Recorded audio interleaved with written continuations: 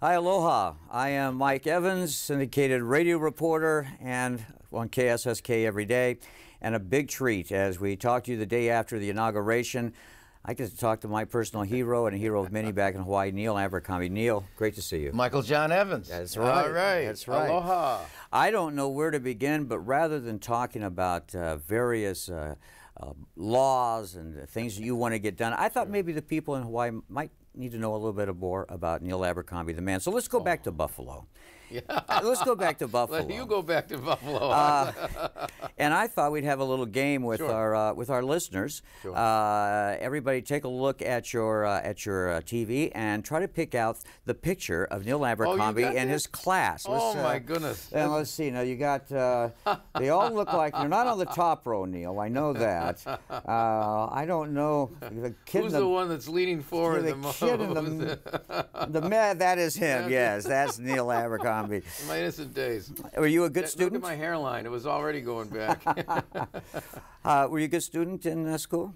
I, I learned to spell my name early. I thought that was a triumph with 11 letters in your name. That was tough. And and growing up in Buffalo, you couldn't get much different than being in Hawaii. When did That's you true. come to That's a good- Hawaii? It's a good point, Mike. Um, yes, it was. Uh, when it was cold, it was cold. When it was hot, it was hot. There was there were no trade winds to to make things better, and uh, so I had the chance in 1959 when statehood came, to uh, to come to Hawaii. I was offered a.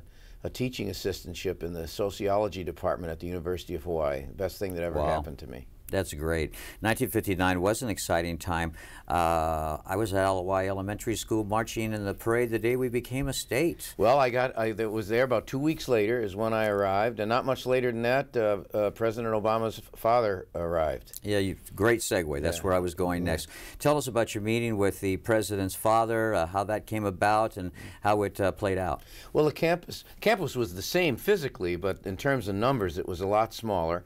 And uh, as it is even today, around the central campus, uh, we had a snack bar there instead of uh, some of the buildings that are there now, and and so it was easy to meet him. He was the first African student to come to. Uh, uh, UH. Really? And uh, he was so charismatic. He was so uh, effervescent and full of life, so much vitality that it was very easy to meet him.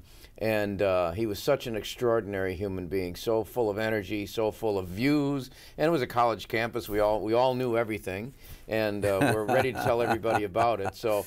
Uh, we met him under those circumstances and became fast friends. A whole bunch of people did. Well, when was the first time you set eyes on Barack Obama? Uh, well, of course, that was after he was born. Oh, yeah, like- he, uh, uh, Barack Sr. had met his mom uh, in a Russian class. Uh, she was uh, scarce, well, just out of high school, really. And uh, they got married, and uh, uh, uh, with statehood, essentially, you know, within a year or so of statehood, Barack Obama was born. Barack Hussein Obama was born. Do you remember him growing up?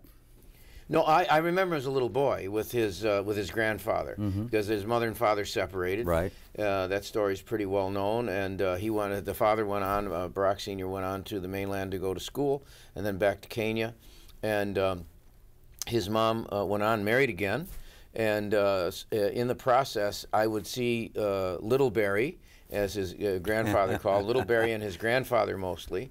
Um, uh, all over. Uh, they they walked everywhere. Uh, Stan uh, Dunham, his grandfather, took him everywhere, and they they met everybody and knew everybody. I mean, it's Hawaii, right? It was Right. easy. You want you want to be friendly. You want to uh, see people and know people. You can do it, and uh, he did. And and little Barry went with him everywhere. I was hoping to maybe save the best for last, but it's so exciting to me, and I know our listeners and viewers will want to tell us about last night. It was the inauguration yesterday, as we speak. Uh, a lot of balls taking place. Uh, you, of course, went to the Hawaii balls. and It's great Hawaiian entertainers. But how do you top that? What do you do after the ball? Oh yeah. Come on. well, it was wonderful. The Hawaii State folks did a, a fabulous job.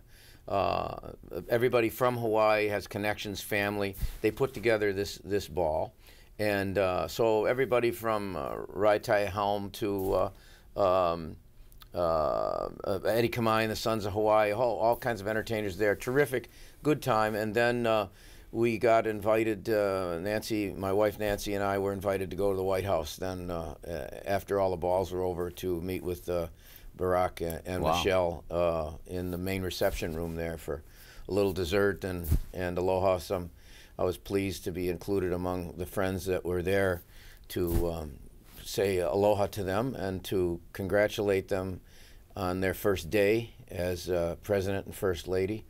And uh, I was pleased earlier in the day to be at the uh, inaugural luncheon, which was the first official duty uh, of the president to uh, to be a guest of honor at a, luncheon thrown uh, by the House, given by the House and Senate to the new president and uh, then to be at the last function wow. of the day, just uh, as they were closing up. Uh, it was a it was a wonderful, wonderful time. It's always great, you know, when you go to a little event and the and the the band playing is led by Wynton Marsalis. so you know, it, it was wonderful. Absolutely. We, we, got a picture taken, and we're able to express our last uh, before he started his first long day, official day, second official day, but official day of, of meetings and and dealing with all the issues at hand domestically and internationally to be able to uh, uh, say to him that he had the love and respect of everybody in Hawaii.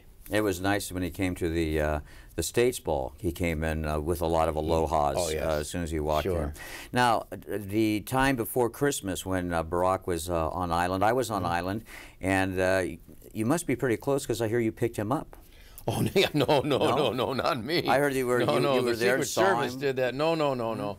Uh, we, we we spoke on the phone, but uh, um, no, no, no. That that's that's strictly. I have to talk to Keith Williams about one yeah. of the secret. Maybe it was somebody that uh, looked like me. Uh, a poor thing. But he's a great. he certainly is the, the most fresh air we've seen in yes. Washington. No, no, I, I was hiding out in Hana, thank you very much. and uh, although I will say at the uh, at the uh, uh, event, I, I, couldn't call it an event, at the, at the uh, cl closing, you know, the little reception, closing reception at the White House last night. Um, Oprah Winfrey was there, really? and I expressed to her and her companion uh, Stedman, the, uh, sure. who's a very, very fine, friendly, couldn't couldn't be nicer. At the end of a long, long day, I said, "We missed you and Hana at Christmas," and they got a kick out of that. And uh, um, so, uh, uh, not everybody may know um, Oprah has a, some property in a, in a place over in, in Hana. I don't know how often she gets to visit, but uh, I can certainly understand why uh, they would like to. If people yeah. in the spotlight like that, uh, everybody over in Hana, and by the way, uh, a big aloha to everybody in Hana. It's just the greatest place in the whole world.